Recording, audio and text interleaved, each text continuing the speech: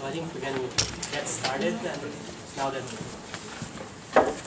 we're recording this, so now that everything is set up. Uh, so I wanted, first of all, to thank all of you for being here today.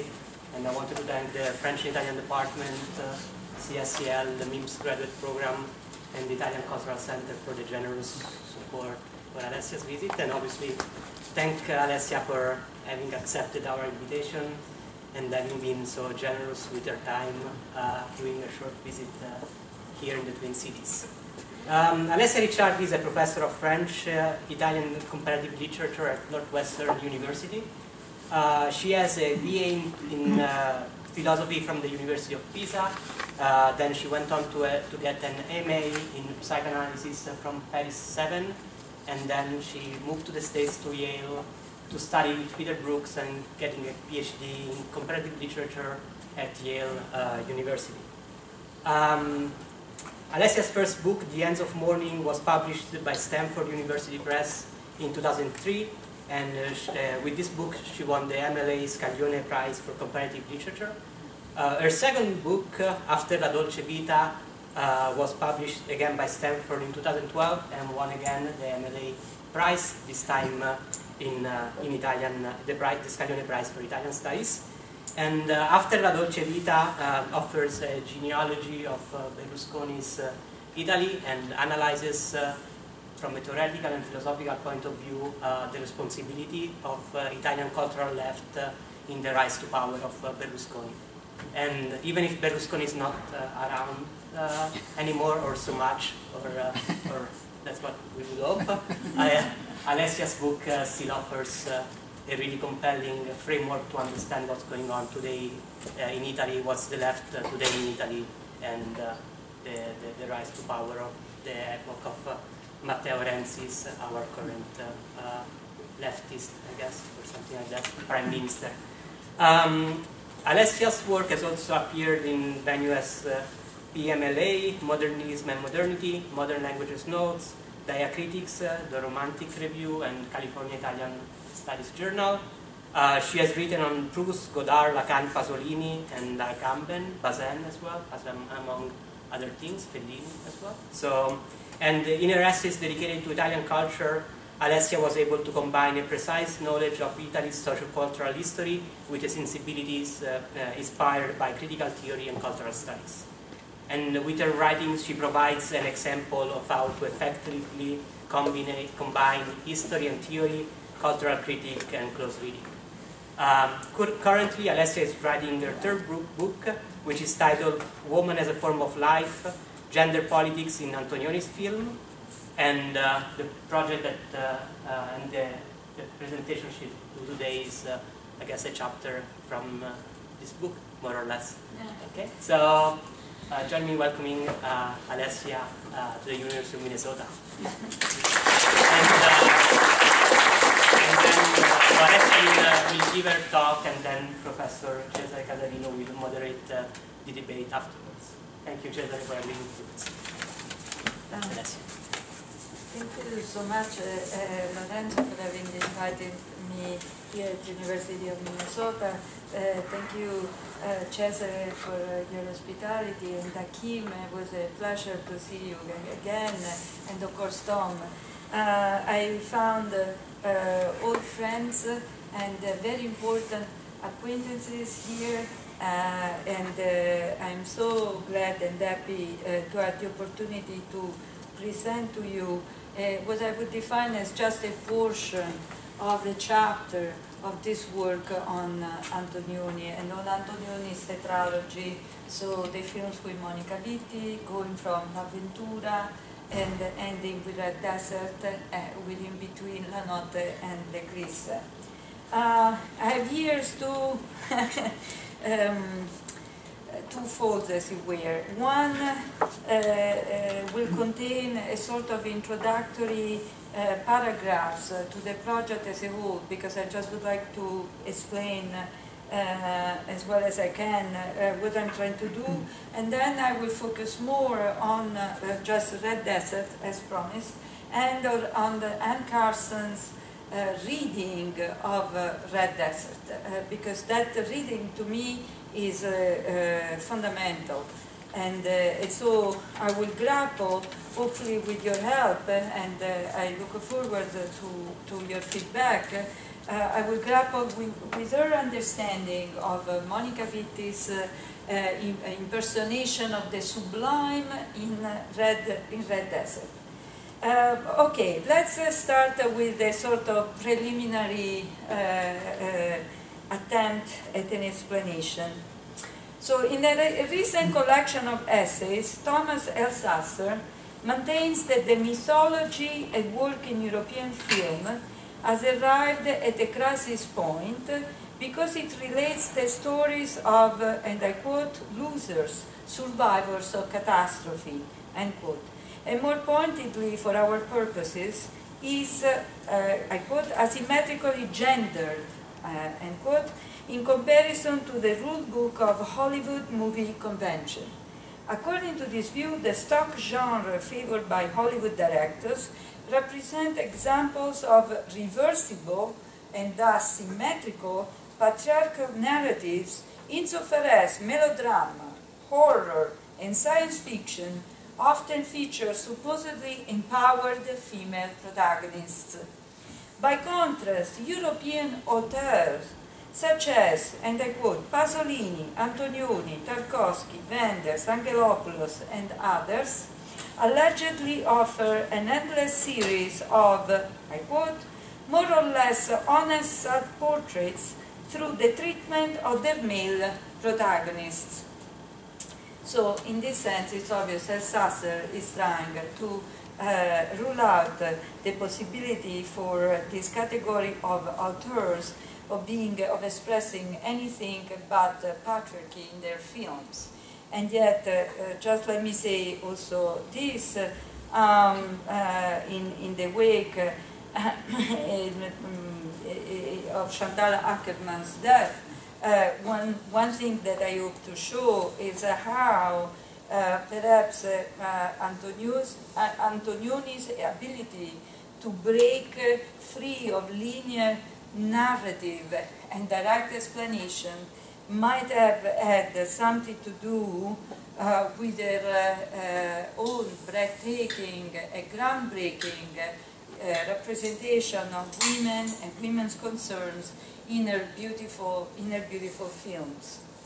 Um, so my view of European cinema is very different from Elsaesser, at least with respect to the contributions of Michelangelo Antonioni. Indeed, I believe that in Antonioni's great tetralogy of films featuring Monica Vitti, L'Avventura, 1960, La Notte, 61, L'Eclisse, 62, Deserto Rosso, 64, he clearly expresses an impulse towards, towards cross-gender identification in his rapt depictions of empowered women. Uh, and the cross-gender identification is a concept coming from Kaja Silverman in The Acoustic Mirror. Empowerment may be understood in this context to derive from the critical acuity with which women see through the mystification of contemporary capitalism while improvising forms of life that are compatible with modernity. So in A Woman as a Form of Life, I set out to show, through innovative approaches to narrative, uh, I, uh, to show how, through innovative approaches to narrative, cinematography, and sound, Antonioni visualized the experiences of women during the heyday of Italy's so-called economic miracle in the early 60s as entirely new forms of life. What we encounter in his productions with Vitti is a gestaltic switch regarding gender, according to which the usual relationship between woman and man as ground to figure is reversed.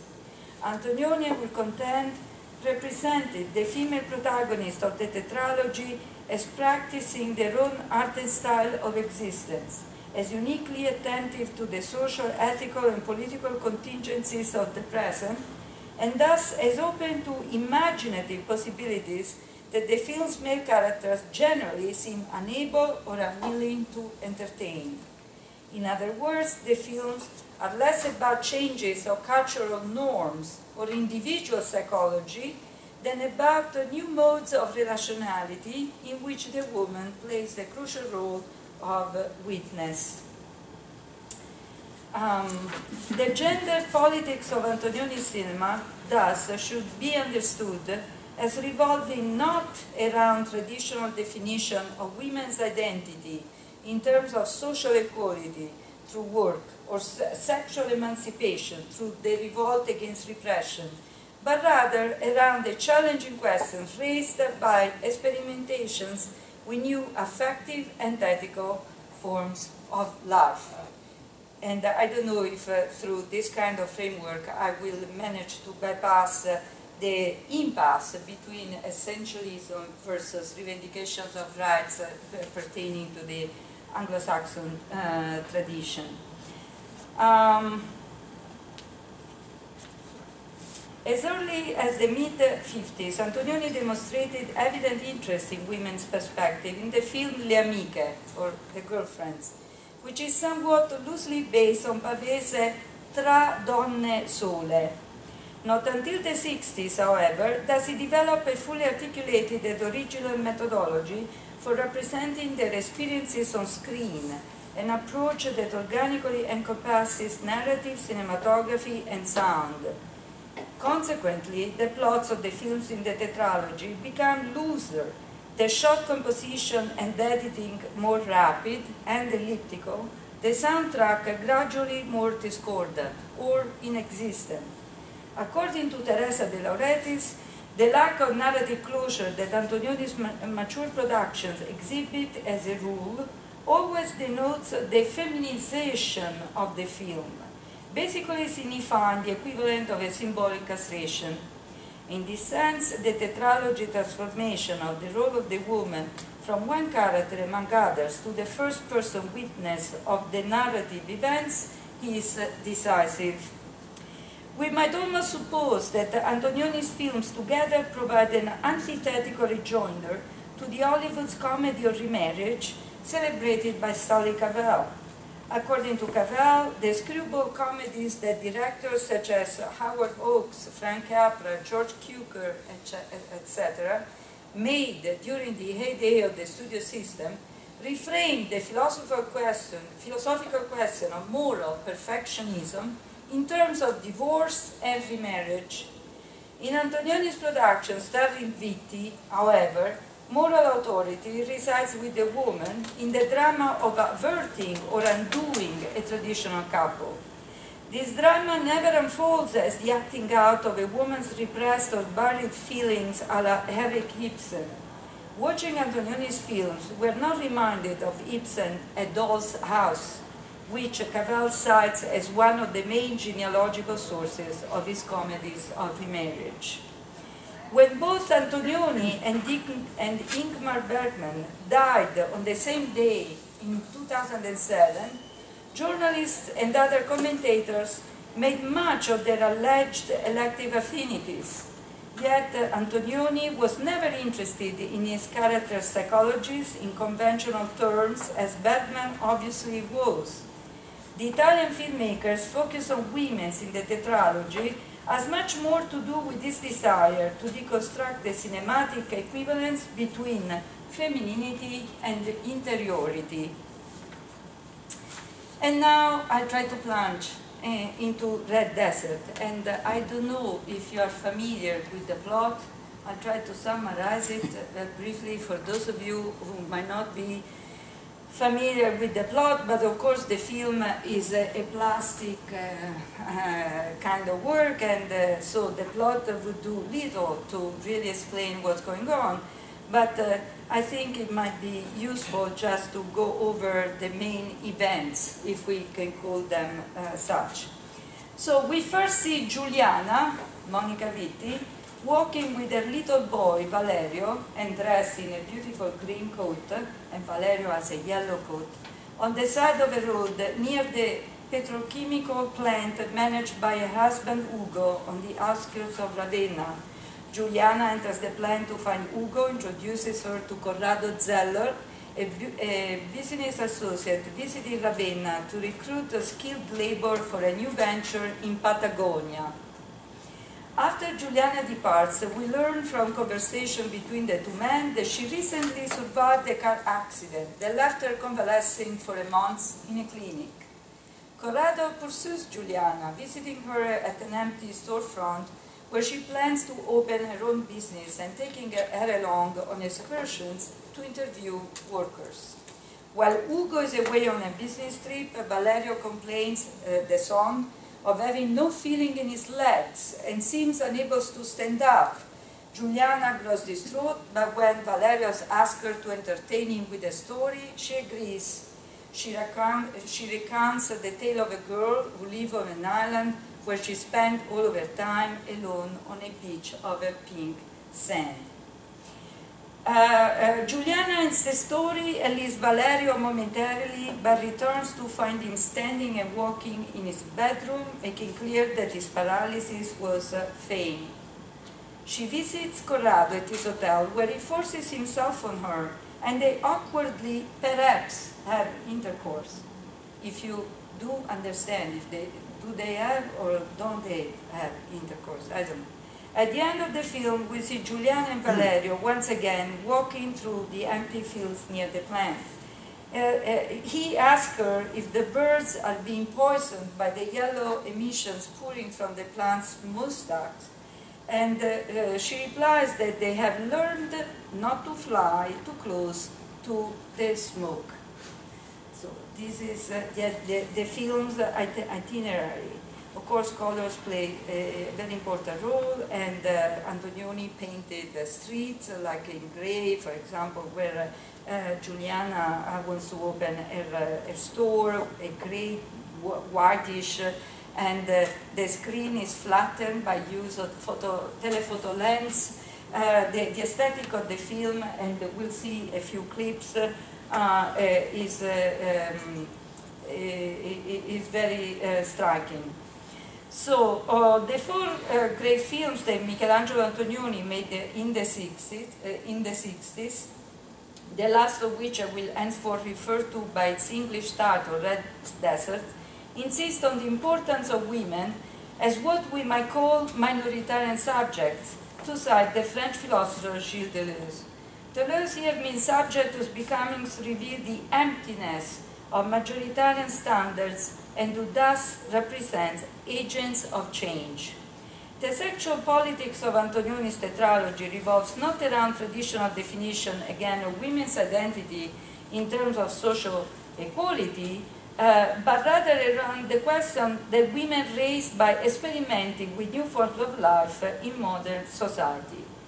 New forms of life prevail in his films insofar as he depicts women whose aesthetic and ethical choices reflect neither the expectation of the melodramatic imagination, let's say betrayal, adultery, uh, nor the dull, dullness of quotidian activities. What is at stake for Antonioni, in other words, is a process of becoming that results in the event of becoming woman, to invoke the contested notion that Deleuze and Guattari introduced in A Thousand Plateaux. Becoming woman has to do with developing what the two philosophers call a micro-femininity, which emerges at the opposite end of the spectrum from the molar concerns of grand historical movement. If the first film of the tetralogy is titled L'Avventura, is to stress the marvelous experiment that Antonioni is inaugurating, choosing to make women and not men, as the tradition wants, the subject of a, quasi-chivalric adventure. To put it differently, Antonioni's heroines show us what it might have meant to become women in Italy at the time of the economic miracle by affirming an idea of the sublime, his female protagonists embody the thrill of freedom that we feel in the imagination when we confront an overwhelming power that defies reason. This feeling is, in a real sense, the attitude of Deleuze and Guattari microfemininity in relation to the molar logic of accepted institutions and practices.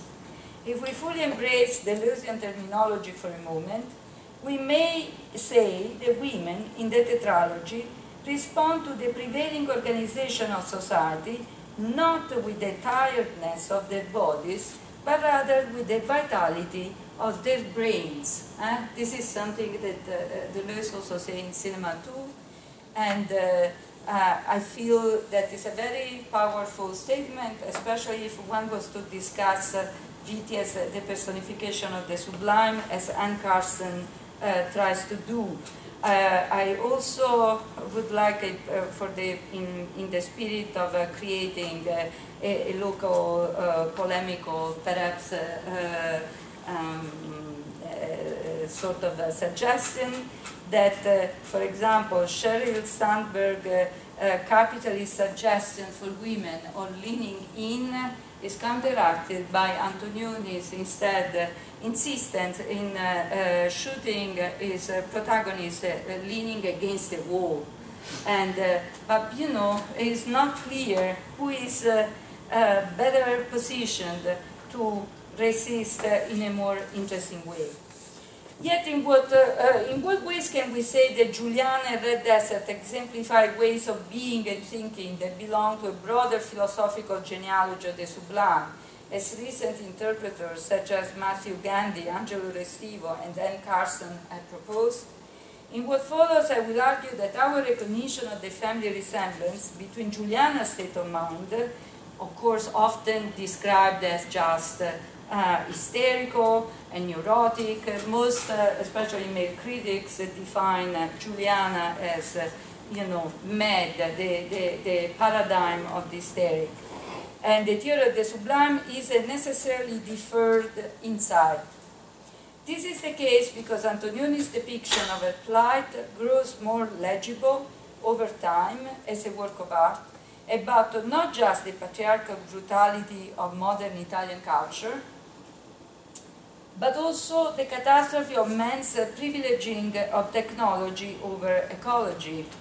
For contemporary spectators, the film has become progressively less mysterious and more traumatic, gaining urgency with the advance of climate change in the manner of what Freud would have called, Freud and especially Lacan, uh, Nachträglichkeit or afterwardness, um, the very title of the film, Red The Red Desert, flirts with suggestion of science fiction, perhaps evoking thoughts of the planet Mars.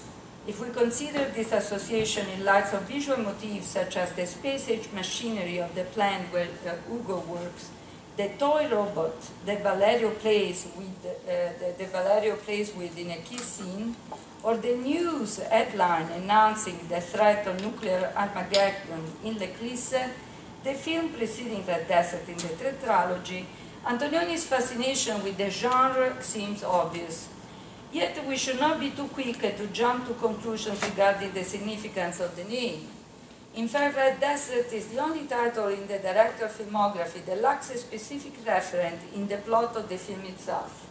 There is at one point a red hat, but uh, you know, uh, you from story of a love affair to the cry, the girlfriends, l'avventura, la notte, blow up, the passenger, the Zabriskie Point, identification of a woman, and so forth. Each of Antonioni's other productions derive its name from an explicit theme or figure that metaphorically implies a multiplicity of related meanings. Antonioni's first foray into color cinematography, however, never actually visualizes or thematizes Red Desert. The label red desert thus functions less as a metaphor than as a, metonym insofar as it signals an arbitrary contiguity between two terms rather than a symbolic relationship of resemblance or analogy. Moreover, the abstractness of the relation between signifier and signified may be understood to enforce a kind of realism with the contemporary onslaught of global warming, water scarcity, and desertification, the title of the film belatedly achieves a literal force. In our day, the desert is transformed from a potential symbol of natural aridity and mortality to a natural byproduct of industrial devastation. Antonioni's film, in other words, compels us to reconsider the relationship between potentiality and actuality in the work of art. His cinematic oeuvre remains relevant at least in part because it exemplifies a potentiality that rarely is squandered in narrative or symbolic acting out. Red Desert reveals itself to be not only a form of vibrant matter, to borrow Jane, Bennett Felicito's turn of phrase, but one that is sublime, threatening, and enigmatic. We may see these qualities on display in a well-known sequence early in the film, in which Ugo and Corrado, while exiting the plant, watch a massive cloud of steam that bursts forth from a ventilation shaft to engulf both their field of vision as well as the viewer.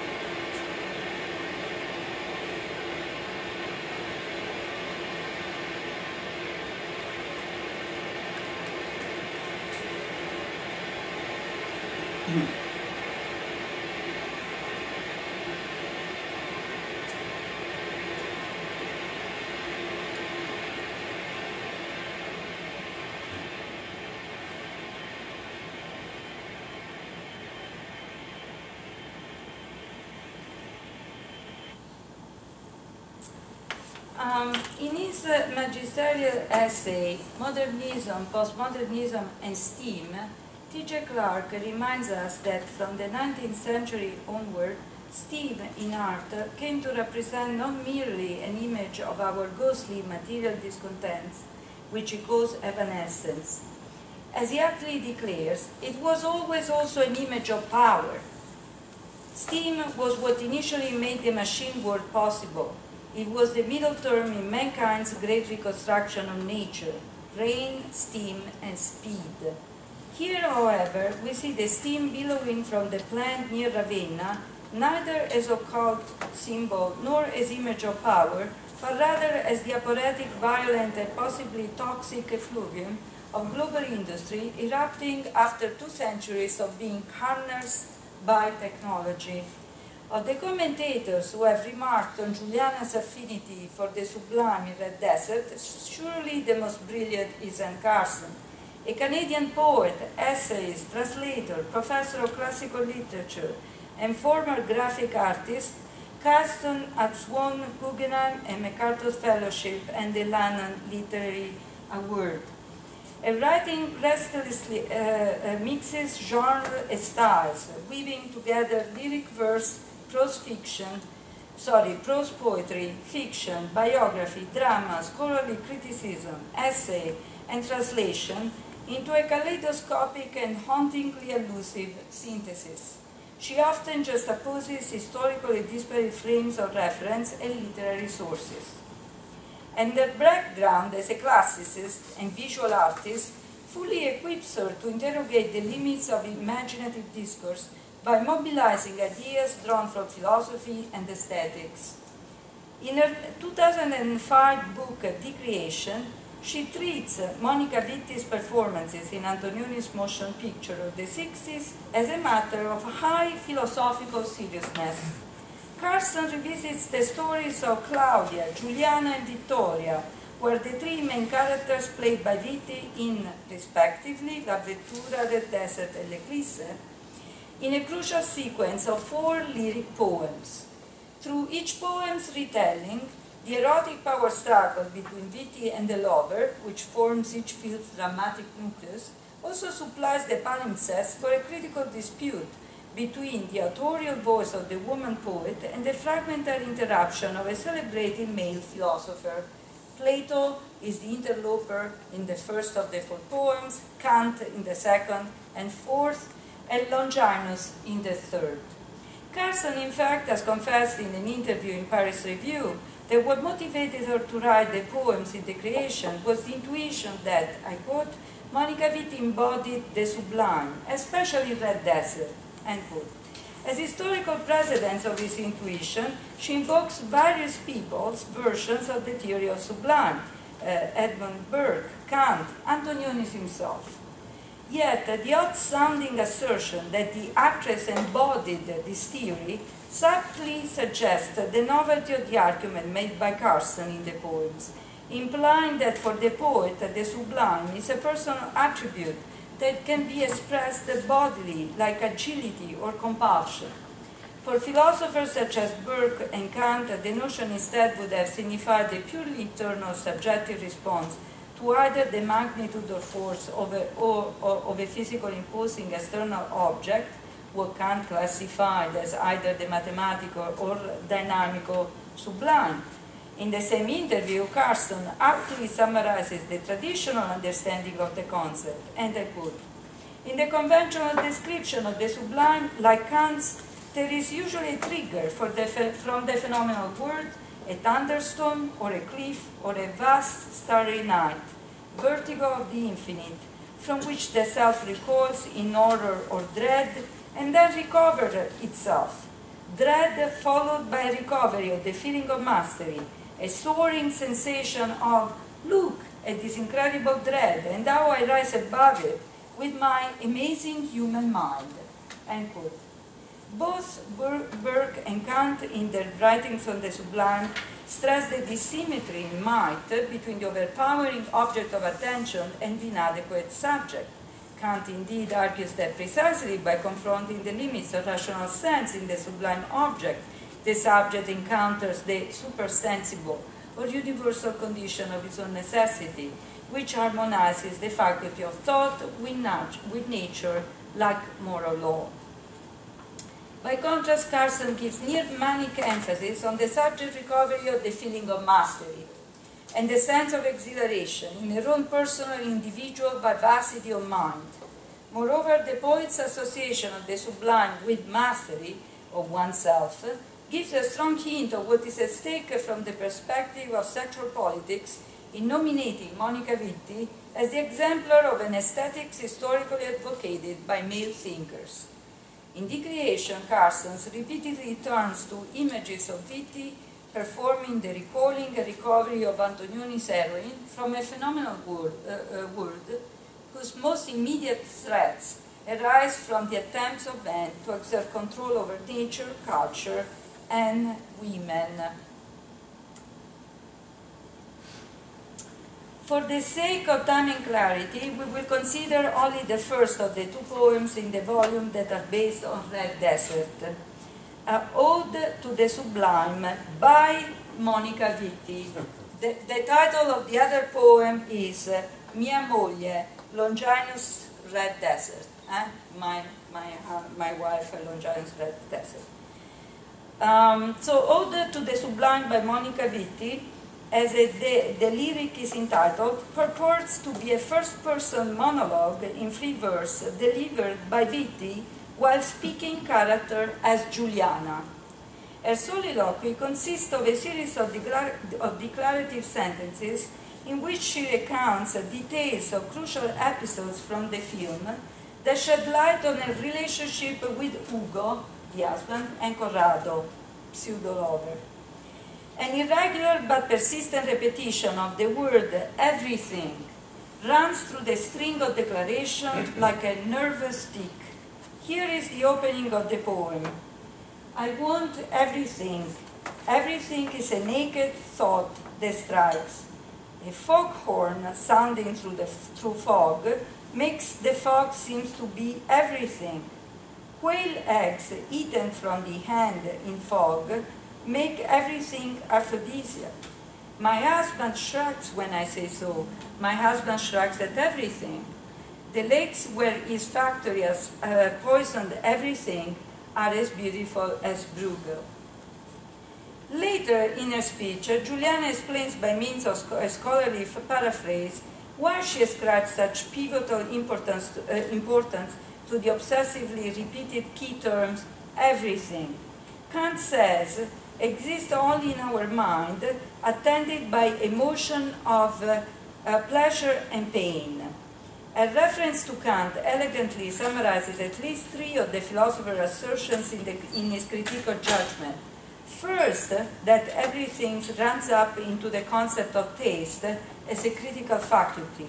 Second, the true sublimity must be sought only in the mind of the judging subject. And third, that the mind feels itself set in motion in the representation of the sublime, like, and I quote, a vibration rapidly alternating repulsion and attraction produced by one and the same object. In light of the deliberately Kantian overtones of her terminology, Giuliana's assertion in the poem early lines sound like knowing avowals of the sublime menace and the enormity of her world.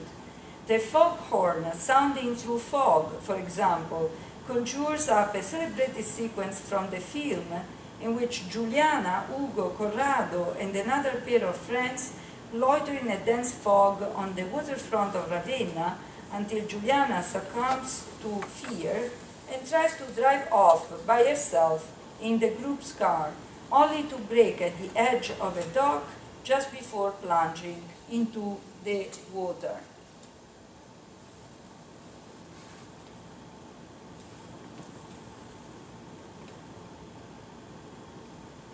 She's dressed in a very Anna Karina kind of coat. and this is one of the most famous shots of the film because of the composition.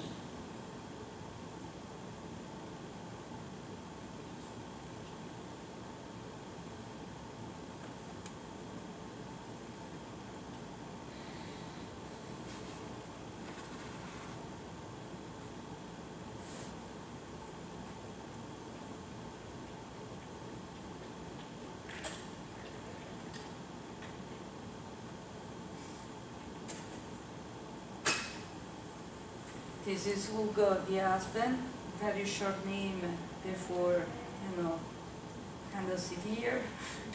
Corrado, slightly more uh, romantic, at least uh, uh, when it comes to his name. In the poem's evocation of this incident, the synesthetic confusion between the foghorn sound and the apparition of the fog seem to increase the perceived scale of both phenomena, making the fog seems to be everything, which is to say, all pervasive and inescapable. A similar widening of perspective occurs over the next three lines. Giuliana reminds us in the first how she alone tests the magical ability to, and I quote, make everything aphrodisiac, that her friends during a party jokingly ascribe to Queen eggs. In the second, she signals how Ugo's apathetic impulse to shrug at everything, including her, has brought about an impasse in their marriage. In the third, she grants how his hand in the destruction of Ravenna's natural environment has led her to, the, to an epiphany, and I quote again from the poem, the lakes where his factory has poisoned everything are as beautiful as Bruegel, end quote. Each occurrence of the word everything in this line, it seems to me, marks a progressive enlargement of the ethical and political grounds of which Giuliana builds an increasingly bleak indictment of her social circle. Her critique progresses from conceding the glibness of her friends to noting the emotional detachment of her husband and finally to condemning the violence with which he and the technocracy to which he belongs make use of earth's resources. Comparing the lakes poisoned by Ugo's work at, uh, at the plant to the beauty of a painting by Peter Bruegel the Elder might seem at first glance like a weirdly cryptic and anachronistic turn of phrase. For readers who are acquainted with modern English verse, however, Giuliana's invocation of the 16th century Dutch artist cannot help but call to mind W.H. Auden's superb Musée des Beaux-Arts. And this is uh, uh, the Bruegel's painting uh, in question in Auden's poem. Auden's 1936 poem, of course, is a celebrated example of technique of ekphrasis, which is to say a literary account of a visual work of art, more specifically a rhetorical performance that claims to speak out of or on behalf of the object of description. Musée des Beaux-Arts begins with the grim affirmation, I quote, about suffering they hmm. were never wrong, the old masters, end quote. The poem contends that what the early modern painters understood so well about human misery is the contrast between the victim's perception of the immensity of their pain and the bystander's sense of its ordinariness, or, as the speaker puts it, how such agony, and I quote, takes place while someone else is eating or opening a window or just walking dully along, end quote. As it nears its conclusion, Auden's masterpiece advances a reading of Bruegel's Icarus in which the poetry gives memorable voice to the painting's depiction of how how everything turns away quite leisurely from the disaster. The plowman may have heard the splash, the forsaken crowd, but for him it was not an important failure. The sun shone as it had to on the white legs disappearing into the green water and the expensive, delicate ship that must have uh, seen something amazing, a boy falling out of the sky, had somewhere to get to and sailed calmly on. Giuliana's claim in Ode to the Sublime by Monica Vitti that the lakes polluted by, U- by Ugo are as beautiful as Bruegel resonates with the ending of Musée des Beaux-Arts in two important respects. First, her allusion in the preceding line to the party where she eats the quail eggs prompts us to recall that in Red Desert the party goers are interrupted by the appearance of a gigantic, slow-moving freighter outside the windows. As Giuliana and her friend discover later, this cargo liner has arrived at Ravenna, Maine's commercial port, in order to enter quarantine for an onboard outbreak of disease. The vessel thus represents a deadly mutation of the expensive, delicate ship of Bruegel's painting and Auden's ekphrasis, at once a powerful engine of trade and its infected waste product. Second, by finding something of Bruegel's in Ravenna ruined lakes, Giuliana seems to glance back at the catastrophe of Icarus drowning with an eye uh, uh, uh, to considering its ominous implication for her own story. Describing the mythical child who melted his wings by flying too close to the sun as a boy falling out of the sky, Auden provides Giuliana with a chilling image of what fate may await both the birds flying overhead at the end of Red Desert and their own little boy Valerio, whose question about emissions from the plant smokestacks raised the specter of the bird's extinction. If Auden's reading of Icarus underscores the horror of the winged boy's punishment for trusting human ingenuity too much, Giuliana's tacit thought of this horror while contemplating the devastation of Ravenna at Ugo's hands enables us to understand the reference to Bruegel as a gesture not towards the beautiful, despite her own use of the, the adjective, but rather towards the sublime. Following this line, Giuliana issues her Kantian's Ars Poetica, which quickly develops into a recollection of her tortured lovemaking with Corrado. Um, everything, are we on the right page? Yes. Everything, Kant says, exists only in our mind, attended by emotion of pleasure and pain that throws itself back and forth in me when I lay on Corrado's bed, fighting with everything, with Corrado's watching from across the room. Uh, then he came to the bed and mounted me, and this made no difference, except now I had to fight everything through Corrado, which I did, undaunted, so Kant, on his freezing bed in its midnight glare. Huh? It's really bad sex.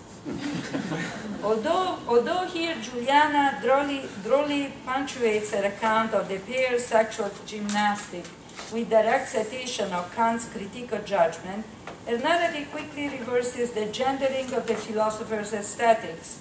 Canonical theories of the sublime in the 18th century implicitly align the beautiful with the feminine and the sublime with the masculine. According to Christine Battersby, Burke and Kant's very language assumes the premise that women are too weak to sustain the visionary flights of imagination required to appreciate the sublime. Because the sublime involves a power of resistance within us, the proper judge of such experience, as far as Kant is concerned, can only be a man who is undaunted, knows no fear, and sets manfully to work with full deliberation, as the philosopher maintains in section 28 of the Critique, entitled Nature as Might. In his eyes, the prerequisite explains why every civilization admires the figure of the soldier of that, over that of the statesman.